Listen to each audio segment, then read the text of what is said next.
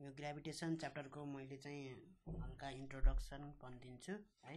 Introduction history introduction र history थाहा हुनुपर्छ किनभने यही थाहा हुनलाई एकदम मजा लाग्छ है। अब बेसिकल्ली नेचरमा चाहिँ चारवटा टाइपको फोर्सहरू छन् है। चारवटा टाइपको फोर्सहरू छन्। त्यो चाहिँ स्ट्रङ फोर्स स्ट्रङ फोर्स यो पहिलाको मान्छेहरूले पत्ता लगाएको फोर्सहरू हुन्। है विक फोर्स फोर्सको नाम नदिन जानेपछि कस्तो फोर्स हो भनेर नाम नदिन जानेपछि स्ट्रङ फोर्स विक फोर्स त्यसरी नाम दिन्थे पहिला पहिलाको मान्छेहरू। र अर्को फोर्स छ इलेक्ट्रोम्याग्नेटिक फोर्स इलेक्ट्रोम्याग्नेटिक फोर्स है। र अर्को फोर्स हो ग्रेभिटेसनल फोर्स यो चारवटा फोर्स चाहिँ पहिलाको मान्छेहरूले पत्ता लगाएको फोर्स हो। है? भनेपछि यिनी चारहरू फोर्समध्ये fundamental interaction found in nature है? Among four class of fundamental interactions found in nature gravitation is the earliest one to be studied extensively gravitational force चाहिँ सबसे रुचि राखेको फोर्स हो मान्छेहरूले यसको बारेमा खोज अनुसन्धान गर्ने अथवा यसको बारेमा स्टडी गर्ने स्टडी गर्न चाहिँ रुचि राखेको यो ग्रेभिटेसनल फोर्स हो है। अब यो फोर्स के को कारणले गर्दा हो होइन? यसको फोर्स चाहिँ केमा डिपेन्ड गर्छ यिनी कुराहरू चाहिँ यिनी कुराहरू पत्ता लगाउन है। यसको बारेमा स्टडी गर्न चाहिँ मान्छेहरूले त्यतिखेर बहुत रुचि राखेको थिए है। यसको ग्रेभिटेसनल फोर्समा चाहिँ डिफ्रेन्ट थ्योरीहरू मान्छेहरूले लेखे। त्यतिखेरको वैज्ञानिकहरूले यसको बारेमा यो फोर्सको बारेमा डिफ्रेन्ट थ्योरीहरू लेखे आफ्नो आफ्नो थ्योरीहरू लेखे। तर चाहिँ सबसे सक्सेसफुल थ्योरी चाहिँ आइज्याक न्युटनले सत्र सेन्चुरीमा चाहिँ दिएका थिए है। न्युटनले चाहिँ सबैभन्दा सुरुमा चाहिँ यो ग्राभिटी पत् महसुस गरेको व्यक्ति होइनन् है। न्युटनले चाहिँ सबसे सक्सेसफुल थ्योरी चाहिँ न्युटनले दिएका हुन् है। न्युटनको टाउकामा सेउ खस्यो र त्यो सेउ खसेकोले न्युटनलाई बाध्यता गर्यो यसको बारेमा स्टडी गर्नलाई है। Because he was a very imaginative एकदमै इमेजिन गर्ने टाइपको मान्छे हुन् है। एकदमै आफूले क्वेसन गर्ने है।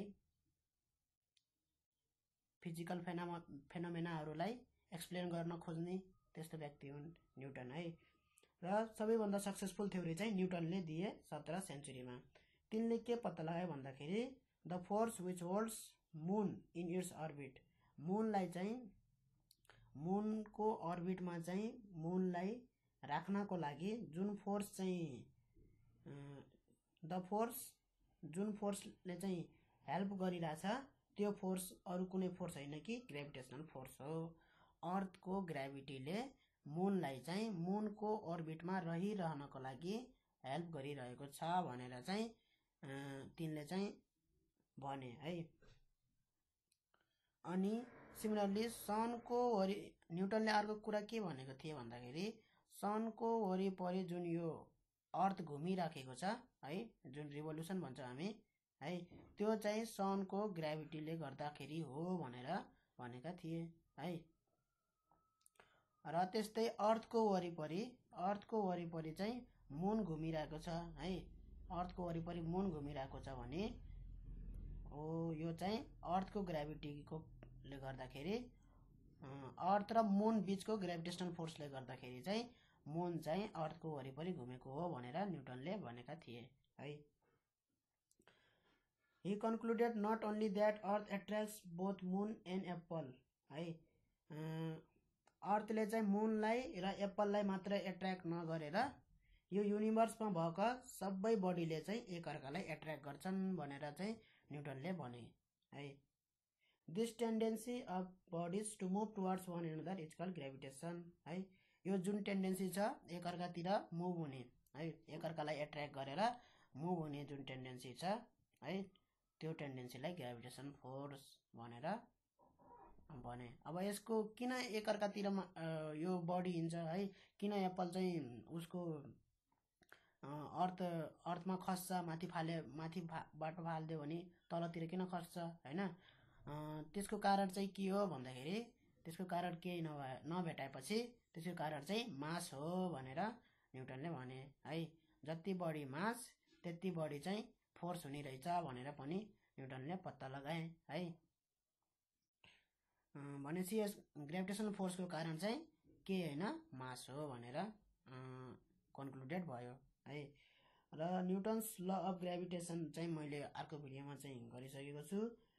त्यसमा चाहिँ न्युटन्स ल अफ ग्रेभिटेसनले न्युटनले जुन ल दिएको थिए त्यो लले चाहिँ के भन्छ भन्दाखेरि दुईवटा बडी जसको मास एम वान र एम टू छ एम वान र एम टू छ है? त्यो बडी बिचको फोर्स चाहिँ केमा डिपेन्ड गर्छ? डाइरेक्टली प्रोपोर्सनल टु मास तिनीहरूको मासमा directly proportional product of their mass directly proportional to product of their mass है?